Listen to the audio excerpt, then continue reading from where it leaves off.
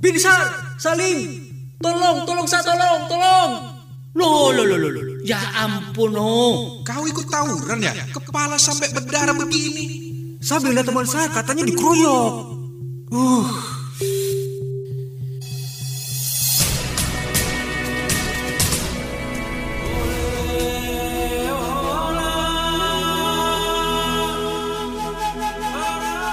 Pondok Kita, drama radio persembahan RRI Yogyakarta bekerja sama dengan Kementerian Komunikasi dan Informatika Republik Indonesia.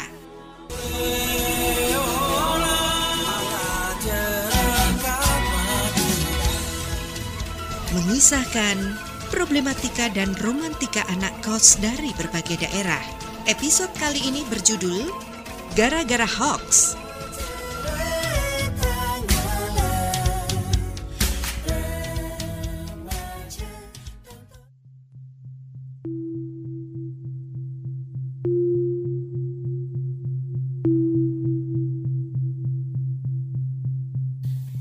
Alamak Jang, kau nih aduh, aduh, aduh, eh, kok bisa pelan-pelan tidak eh? udah pelan ini.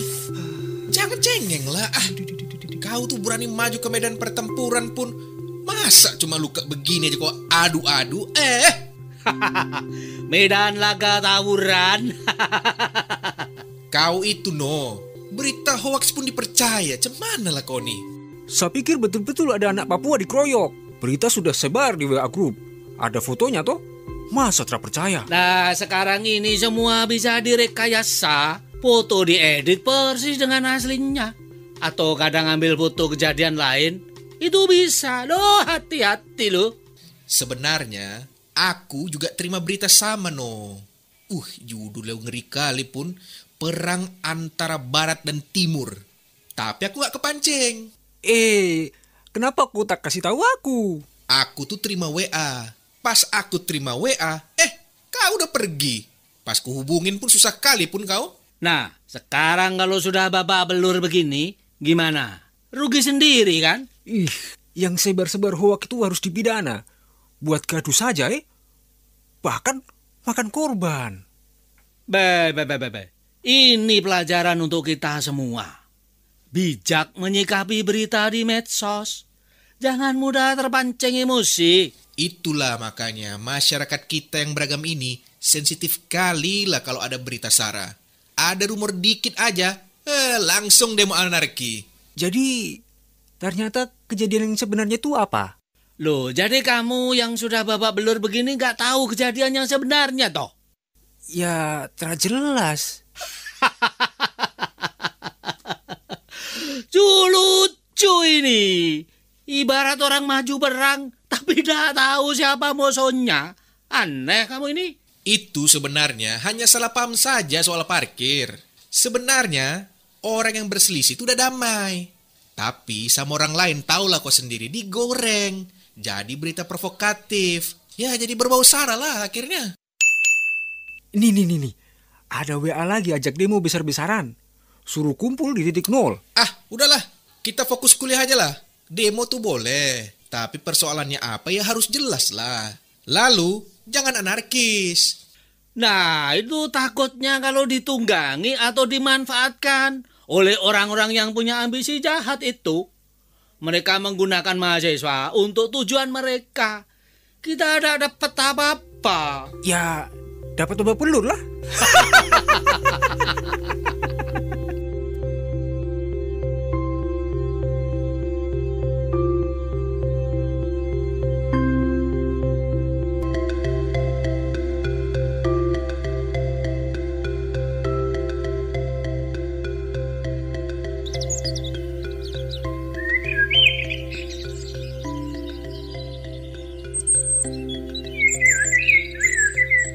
Syukurlah kalau sudah kondusif.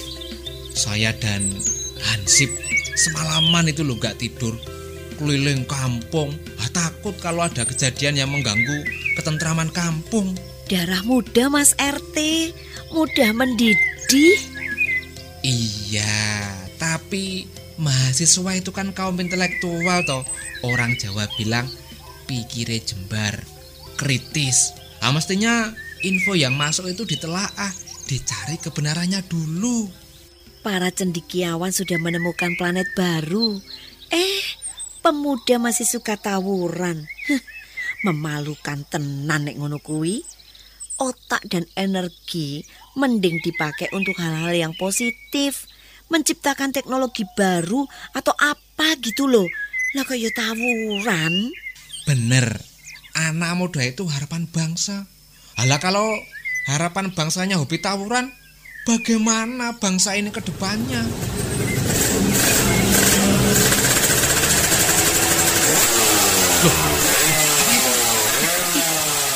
Iya Mas RT. Loh, loh, ada apa itu? Aduh Mas RT, Mas RT, jangan-jangan nyari si Lono. Mau balas dendam itu. Aduh, jangan. Tenang, tenang. Iya, iya, Tutup iya, iya. semua pintu. Saya telepon Hansip. Ada apa Bu Juju? Gak tahu ya. Aduh, aduh, aduh. Kalian jangan ada yang keluar. Ingat itu, jangan ada yang keluar.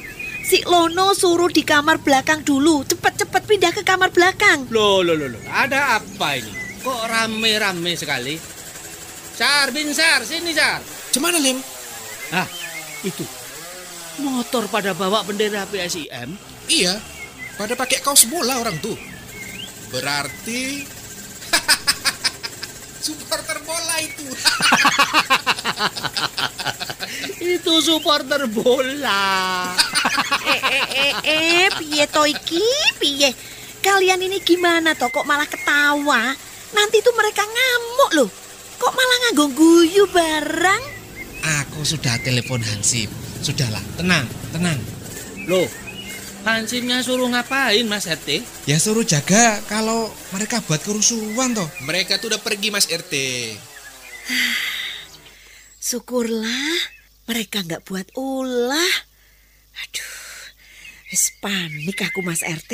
Baru aku mau temui mereka. Eh, malah sudah pergi.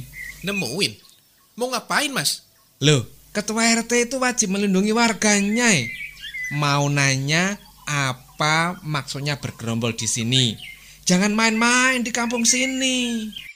Nah, nah, nah, nah. Ternyata Mas RT ini juga mudah terpancing ini. Untung aja Mas RT tidak menemui mereka. Karena mereka itu cuma supporter bola aja.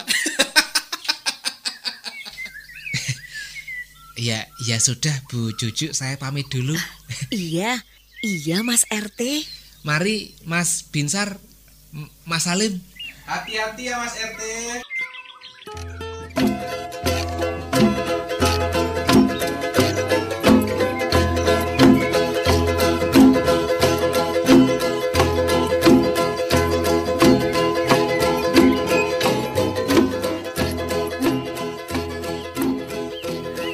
Sar, gimana ini Sar? Teror di WA masih terus ada eh? Saya jadi takut keluar rumah. Alah, abaikan aja. Kalau kau merasa terancam, tinggal lapor polisi aja. Nah, penyebar teror itu sebenarnya orang penakut. Pengecut dia. Dia sengaja menciptakan suasana mencekam kayak gini. Supaya pada takut. Padahal ndak ada apa-apa. Aduh, terus baiknya gimana eh? Kita lawan lah. Hah?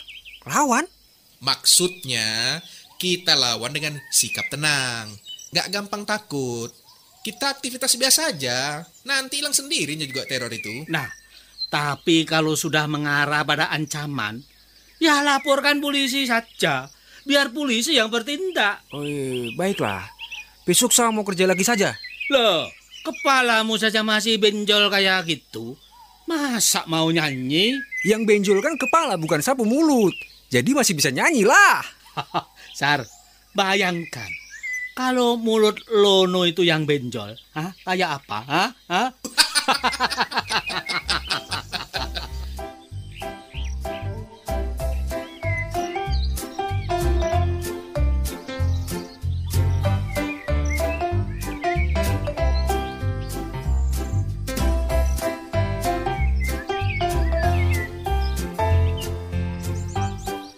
Jadi pemilihan RT mendatang, ini saya harap mahasiswa membantu menyiapkan semuanya ya Bu. Iya Mas RT. Dan nanti kalau sudah terpilih ketua RT, anak-anak kos di sini itu saya harapkan juga mau jadi pengurus. Iya, iya, iya.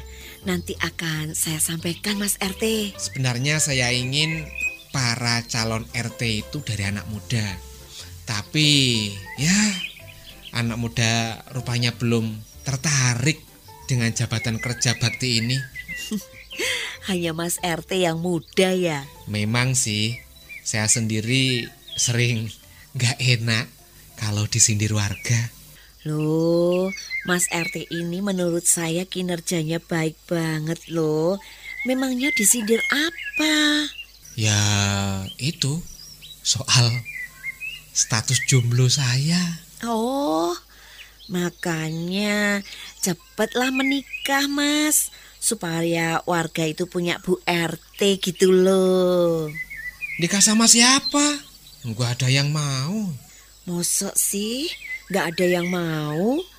Mas RT ini kan orangnya baik, lumayan mapan. Kurang apa coba? Oh, kurang tampan. Mas RT ini? Ya enggak lah. Mas RT itu kan manis, ya toh? Hari gini orang nggak milih casing Mas RT. Yang penting bertanggung jawab dan setia. Buktinya loh, sudah lima kali saya mendekati gadis. Nggak ada yang nyantol. Jangan putus asa Mas RT, pokoknya tetap semangat. Belum saja itu, ikhtiar aja terus. Hah, sudahlah. Saya serahkan pada Allah saja. Hidup jomblo itu memang gak enak. Mudah terserang gosip. Mm-mm, bener itu. Lah saya kan sering ke Pak Joko. Eh, warga sudah curiga saya ngecengi anak kos putri. Ah, padahal saya kan sedang urus kartu keluarga Pak Joko. Hah, begitulah. Apalagi janda. Tersenyum saja jadi gosip eh. Ramah sama bapak-bapak.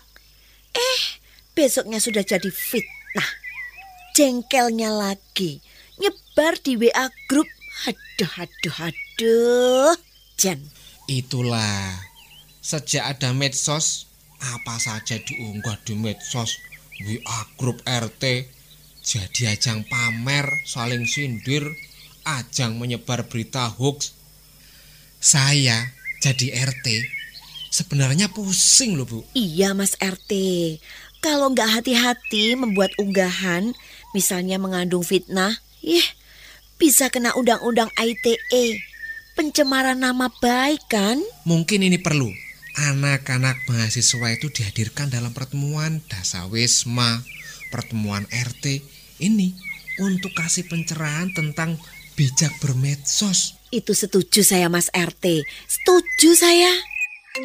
Lah ini Mas RT, di grup ada hoax lagi. Katanya ada tuyul di kampung kita. Saya nggak bawa HP. Coba, coba. Mana, mana? Ini loh Mas RT, ini loh. Di-share sama Yumeni. Waspada, ada tuyul berkeliaran setiap malam Jumat. Harap uang ditali dengan karet dan meletakkan bawang merah di depan pintu. Aduh, aduh. Gara-gara hoax, dampaknya antara warga jadi saling curiga. Harus segera diredam ini. Loh, terus caranya bagaimana Mas RT? Saya mau ke rumah Yumeni. Dia harus dapat membuktikan keberadaan tuyul itu. Sudah, permisi ya Bu Cucu.